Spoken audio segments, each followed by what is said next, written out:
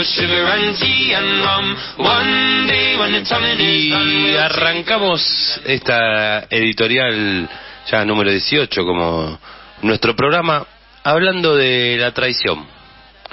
Hoy Cristina debería terminar con cualquier tipo de pelea y llamar a la reunificación de todo el movimiento peronista y del campo nacional popular. Nacional y popular. Con reglas claras, ¿no? Quien saca los pies del plato, chao. Nunca más. Nunca más.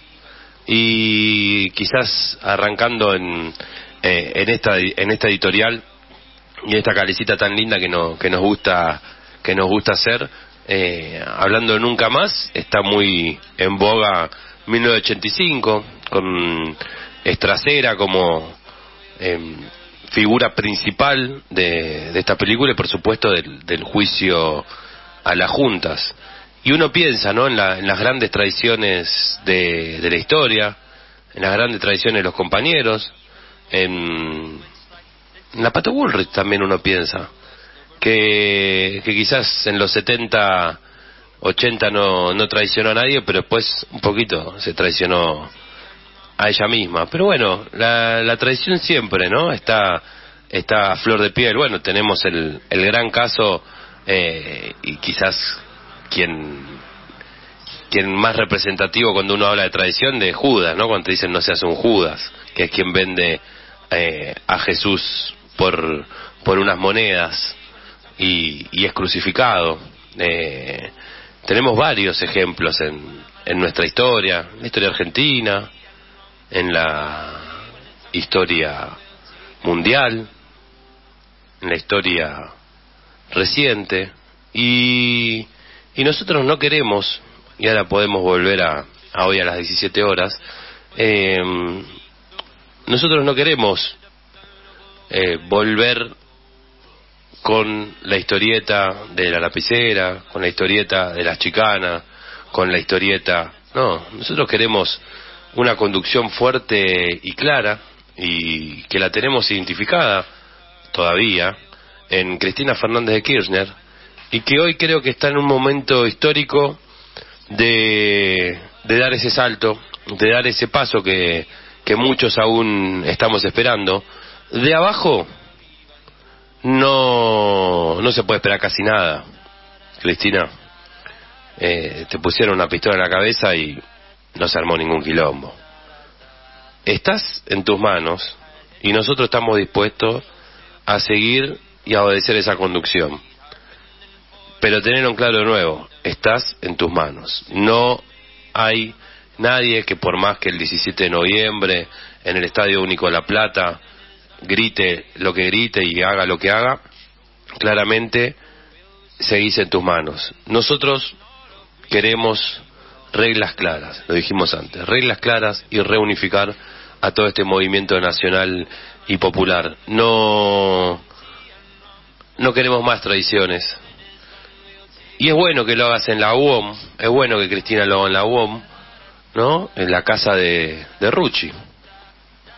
Ahí podemos hablar de peronismo, podemos hablar de traición, podemos hablar de, de un montón de cuestiones, podemos hablar de sindicalismo, de sindicalismo peronista. Bueno, en un rato seguramente lo, podremos debatir cuando venga Emiliano y, y con Giselle un poco la, la figura de, de Rucci, tan controvertida como representante de los trabajadores y trabajadoras del pueblo peronista durante los años 70 y elegido por, por Perón, así como otros compañeros también han sido elegidos por Perón como su- sus representantes. Em, no queremos nosotros tampoco eh, que Cristina se transforme en, la mártir de nuestro movimiento. Nosotros la queremos como conductora. Así que desde acá eh, abogamos por esto, porque se acaben la- las tradiciones, porque nos enfoquemos hacia el 2023, que es lo único que en este momento realmente nos preocupa. Porque en el día a día, en la diaria, y lo que estamos viendo es eso, lo que se viene, lo que se viene, para adelante, siempre para adelante.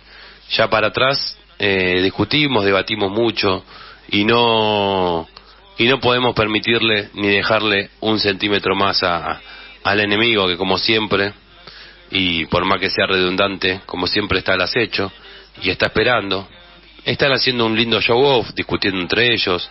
Hoy seguramente en el resumen semanal lo, los escucharemos. En parte creo que eh, hay algo de marketing en esas peleas. Eh, por más que parezcan bastante sinceras yo creo que en el momento en que Cristina y Alberto eh, estuvieron discutiendo y un montón de, dirigentes más, eh, salió de la escena principal lo que ahora es la oposición. Salió, nadie hablaba de ni de la reta, ni de Pato Ulrich, ni de Santilli Ritondo. No, lo único que se hablaba en ese momento era la disputa, ¿no? Y, y sorprendió me parece a mí, a, esta agenda de la muerte que nos tienen acostumbrados los medios hegemónicos, sorprendió que constantemente, o sea, cuando no se hablaba de eh, Cristina y la persecución judicial, se hablaba de la pelea interna que hay en el frente de todos o que había en el frente de todos. Eh, una herramienta que no la habían contemplado, pero que ahora eh, se adaptan rápido los chicos y las chicas de la oposición la están usando. La están usando, o sea, dejan de hablar de, de nosotros y empiezan a hablar de ellos, por supuesto, posicionando candidatos y candidatas. El, el momento creo que comienza hoy. Tenemos muchas esperanzas de lo que pase a partir de las 17 horas. Eh, después Emiliano García Olaya seguramente va a estar contando los pormenores de, su conversación con, con Parril y con Cristina por el tema horario, porque iba a ser antes la, el discurso, pero dijimos, mira, tenemos con Julia Rebelde, esperá, escuchá la editorial, escuchá la, la columna de género y feminismo popular, escuchá Hijo del Exilio y después eh, mandate ahí para, para la UOM, la casa de, de José Ignacio Rucci y unificar unificar el movimiento. Seguramente va a estar contando algún detalle más, ¿viste? ¿Qué tipo de agua toma? Eh, si había Rapanui o no había Rapanui. Hay, hay un par de detalles que me adelantaron, pero no puedo, no puedo contarlos eh, en esta editorial. Todo esto es para sacar un poco la sonrisa en esta dulce espera hacia las 17 horas. Nosotros, como siempre, acá en Conjura Rebelde. Vamos a ir hasta las 17 horas. Mi nombre es Felipe Ficina. Estoy acompañado por Giselle Muñoz y Emiliano García Blaya, que los tres, agarraditos la mano, estamos esperando, esperando que ella vuelva.